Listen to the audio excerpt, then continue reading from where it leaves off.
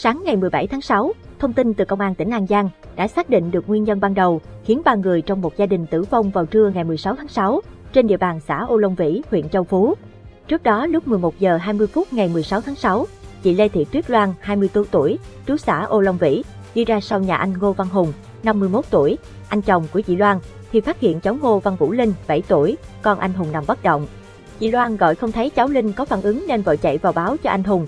Bàng hoàng phát hiện anh Hùng và chị Lê Thị Cúc, 45 tuổi, vợ anh Hùng đã tử vong.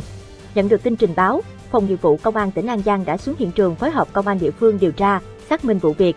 Qua công tác khám nghiệm ban đầu, lực lượng chức năng xác định nguyên nhân khiến cả ba người trong gia đình anh Hùng tử vong là do điện giật.